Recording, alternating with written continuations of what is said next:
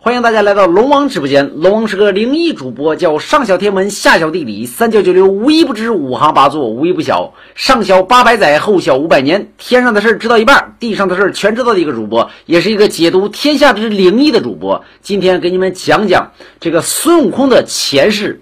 有人骂龙王，操你妈！孙悟空他妈有前世吗？有。孙悟空的前世叫什么呢？在《封神榜》里边体现过。孙悟空的前世就是咱们说眉山七杰之首袁弘。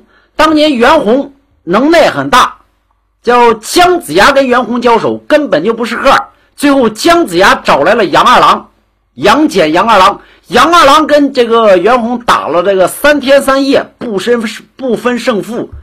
最后后边姜子牙手持打神鞭助了一下，这才擒到袁弘。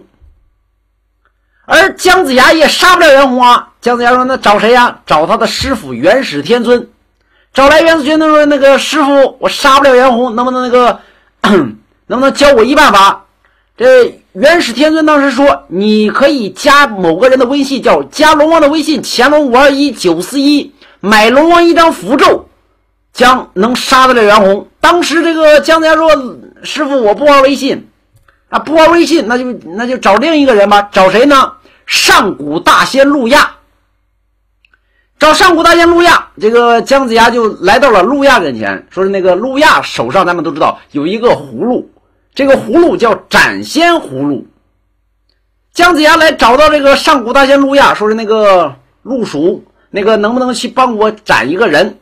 说是斩谁呢？斩袁弘。上古大仙路亚就随着姜子牙来到了袁弘跟前，拿出葫芦，对不对？那个打开葫芦。说，请葫芦给我杀了他。这时候，葫芦里边就飞出一把刀，削去了这个袁弘的脑袋、跟袁弘的胳膊，还有袁弘的腿。这时候，上古大仙路亚把袁弘放在了一个图画里边，就扔在了空中，告诉杨二郎，说是一千八百年之后，他将你与你有有这个千丝万缕的关系。后来，咱们都知道，这个袁弘的头变成灵明石猴，袁弘的肚子变成六耳猕猴，袁弘的胳膊变成了赤尻马猴。袁弘的胳膊变成了通臂猿猴，袁弘的腿变成了赤尻马猴，这就是为什么为什么有四种猴子不在三界与五行之中，因为他在路路亚的画里边。因为因为时间的关系，今天就讲到这儿。欲知下世如何，请听下回分解。再见。